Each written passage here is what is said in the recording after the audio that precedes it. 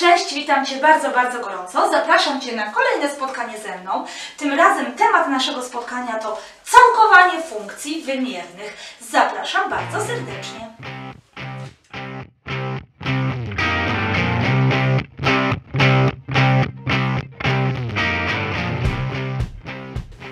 Otóż, co będziemy robić na tym spotkaniu? Będziemy dowolne funkcje wymierne, gdzie będzie w liczniku f od x, w mianowniku g od x, ale uwaga, oczywiście f i g to są wielomiany zmienne x, ale na poprzednich spotkaniach zajmowaliśmy się takimi przykładami, gdzie stopień f od x był mniejszy niż stopień g od x, a teraz będziemy robić sytuację odwrotną, że stopień f od x będzie większy lub równy od stopnia g od x. Czyli jeżeli tak by się zdarzyło, że u góry będzie wielomian wyższego stopnia niż na dole, albo tego samego, to pamiętaj, co masz po kolei robić w krokach. Po pierwsze, najpierw wykonujesz dzielenie, tak jak w szkole średniej, ja będę tu przypominała, będziemy dzielić e, wielomian f od x przez wielomian g od x. Jak już podzielimy, to wtedy próbujemy rozłożyć g od x na czynniki, oczywiście o ile to możliwe. Czasem to jest możliwe, czasem to nie jest możliwe. I teraz, jeżeli to nam się uda, bądź się nam nie uda, na pewno musimy się e, tak jakby tymi trzema e, sposobami kierować. Po pierwsze, rozkładamy na ułamki proste tą funkcję, która jest podcałkowa, bądź stosujemy wzór, że dążymy do tego, żeby w liczniku była pochodna z mianownika i wtedy wychodzi nam z całki logarytm z mianownika g od x, E, bądź też będziemy dążyć, albo równocześnie jedno i drugie, będziemy dążyć do wzoru, do zastosowania tego wzoru lekko przekształconego oczywiście, że całka z 1 nad x kwadrat plus 1 po dx to jest arcus tangens x. No i oczywiście plus c. Więc pamiętaj o tym. Najpierw dzielenie, a później te metody, które na poprzednich spotkaniach ze mną przećwiczyłeś. Te metody są trudne, wiadomo, bardzo rozbudowane, ale to wszystko zależy od tego, jaka jest funkcja podcałkowa. Tutaj jest cały problem w tym. Jak będzie skomplikowana, to będzie się długo liczyło, prawda? Natomiast jeżeli będzie tak przykład, żeby w miarę szybko się policzyło, no to się szybko policzy. Pamiętamy o tych metodach. Zapraszam do rozwiązywania przykładów, które przygotowałam na nasze spotkanie. Przykład numer jeden. Mamy do policzenia całkę z x do potęgi czwartej podzielone przez x kwadrat dodać 1.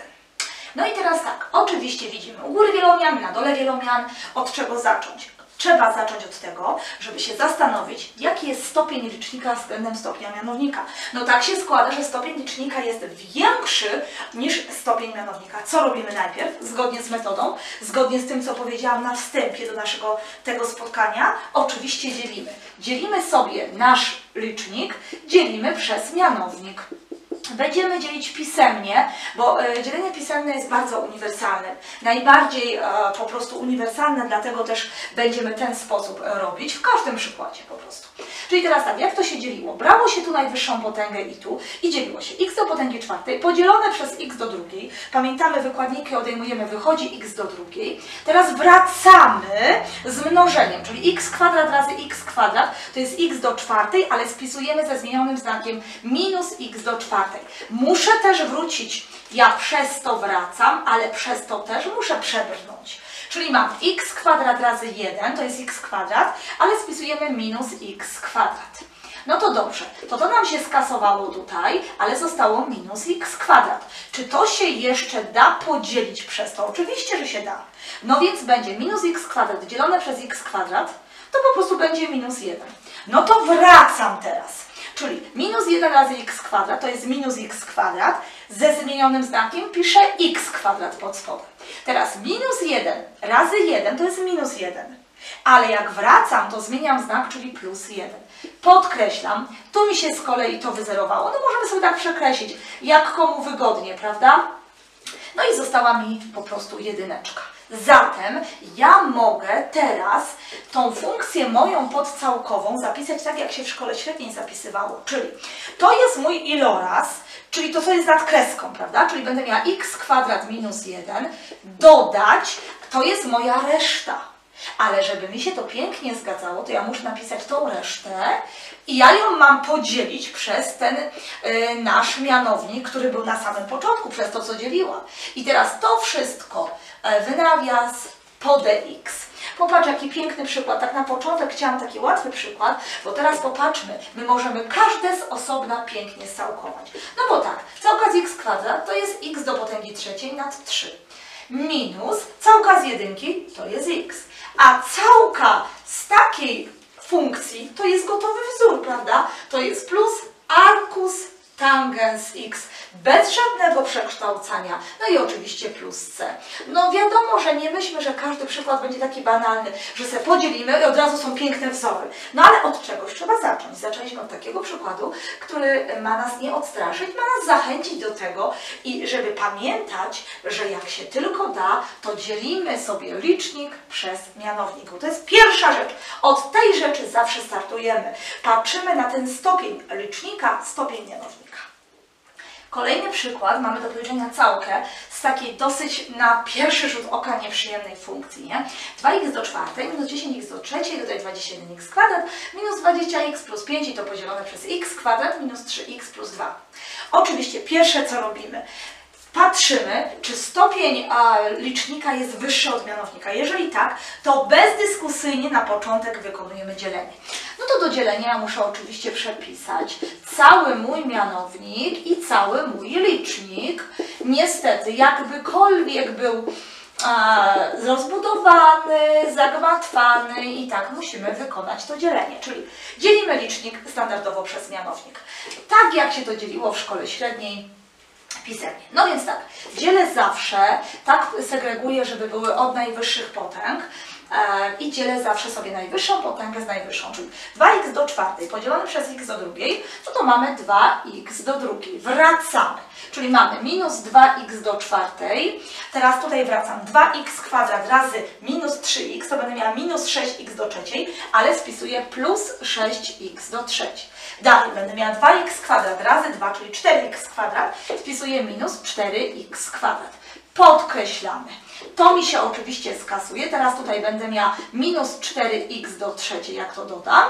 I tu będę miała oczywiście plus 17x kwadrat minus 20x plus 5 to muszę wszystko oczywiście ładnie zapisywać, żeby gdzieś nie zapomnieć czegoś. No i znowu dzielę sobie tą najwyższą, czyli minus 4x do trzeciej przez x kwadrat to jest minus 4x. Wracamy, będzie na pewno 4x do trzeciej, bo to się musi skasować to pierwsze. Teraz mam minus 4x razy minus 3x to będę miała oczywiście 12x kwadrat, ale spisuję minus 12x kwadrat. Minus 4x razy 2 to będzie minus 8x, spisuję plus 8x. Podkreślamy. To mi się skasuje, tu będę miała 5x kwadrat i tu będę miała minus 12x plus 5. No jeszcze raz mi się podzieli. 5x kwadrat przez x kwadrat to będzie plus 5, czyli tu na pewno będzie minus 5x kwadrat i wracamy. Będę miała minus 15x, ale spisuję plus 15x. 5 razy 2 to 10, spisuję minus 10. To mi się oczywiście znowu skasuje i tu będę miała 3x i minus 5. To jest moja reszta, tego już nie podzielę. Czyli popatrz, co ja mogę zrobić. Mogę moją całkę rozpisać na co? To, co mi wyszło jako iloraz, pisz, piszemy po prostu tak swobodnie. 2x kwadrat minus 4x dodać 5. Dodać, to zrobię w nawiasie, dodać. I teraz moja reszta. 3x minus 5 podzielone przez to właśnie x kwadrat minus 3x dodać 2, no i dx. No to skoro tak, popatrzmy, no to teraz tak, ja mogę każde z osobna przecałkować. No to próbujmy. Tutaj będziemy mieć 2 razy x do trzeciej nad 3 minus 4 razy x kwadrat nad 2, bo to jest proste całkowanie, dodać 5x. Jedynie co jest trudnego, to trudne jest to, że, że trudna jest ta część, której tak skopa od razu z buta nie dam rady scałkować, prawda? Dlatego ja muszę to przepisać i będziemy się zastanawiać nad tym, jak to przecałkować. Ale to po prostu będziemy e, za chwileczkę robić. Popatrzmy, tu mamy już w zasadzie, moglibyśmy sobie to przekształcić, e, ale to zostawimy sobie e, już jak będziemy tą całkę mieć policzoną, wtedy to ładniej zapiszemy.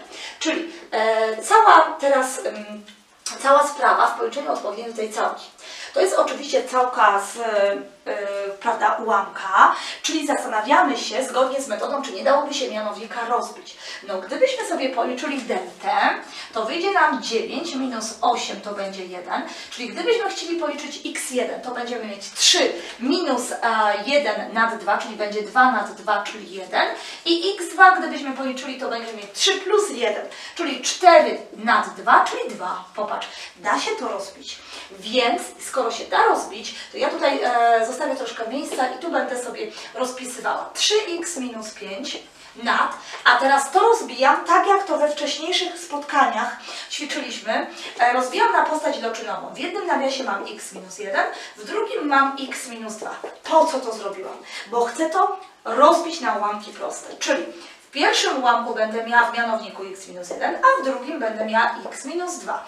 Tu jest stopień pierwszy, to tu musi być zerowy, czyli a. Tu jest stopień pierwszy, to tu musi być zerowy, czyli b. Mnożę obustronnie przez x minus 1 razy x minus 2 i co zapisujemy? 3x minus 5 to się równa, bo to jak się nam skróci, prawda, zostanie nam sam licznik. Teraz tu nam się to skróci, więc tu mogę pomnożyć, czyli będę miała ax minus 2a dodać, teraz to mi się skróci, czyli będę miała bx minus b. No to szybciutko po tej stronie wyciągniemy x przed nawias, czyli będzie a plus b, a tutaj nie ma x, czyli minus 2a i tu nie ma x, czyli minus b. Układam układ równań, ale nie będzie to bardzo skomplikowane. a plus b to musi być u mnie po prostu 3, a moje minus 2a minus b to po prostu musi być minus 5. Popatrzmy jak łatwo zrobić. Wystarczy podkreślić, dodać, bo tu mam b minus b. Czyli a minus 2a to będzie minus a, to się równa. 3 minus 5 to będzie minus 2. Czyli a nam wyjdzie po prostu równe 2. No to skoro tak, to wystarczy czy tu podstawić i będę miała 3 minus 2, czyli będzie 1. Czyli B1 AA jest równe 2. Skoro tak, to ja już teraz mogę tutaj wrócić do mojej tej całki na samym początku, co miałam, bo to były moje takie obliczenia pomocnicze. Wracam i zapisuję. 2 trzecie x do potęgi trzeciej minus 2x kwadrat, bo to się skróci, plus 5x i teraz plus, to rozbijam na dwie całki. Całka i teraz a to było moje 2 nad x minus 1 dx, dodać całka, moje b to jest 1 nad x minus 2 dx. No i w ostatniej tutaj już części zapiszemy sobie 2 trzecie x do trzeciej minus 2 x kwadrat plus 5x. Tą dwójeczkę daję do przodu, czyli będę miała 2, a tu pamiętamy, że będzie logarytm naturalny z x minus 1. No i tutaj będę miała dodać logarytm naturalny, bo to już widać z x minus 2 plus c. I to, co teraz zapisałam, co podkreślę, to już jest wynik po prostu końcowy, czyli tyle ta nasza całeczka w przykładzie drugim wynosi. Jeżeli potrzebujesz więcej przykładów na całkowanie funkcji wymiernych, gdzie e, potęga w liczniku jest wyższa niż potęga w mianowniku, zapraszam Cię oczywiście do zakupu mojego kursu online, który znajdziesz na stronie www.aikamat.pl. A tymczasem zapraszam już na kolejne spotkanie ze mną. Do zobaczenia!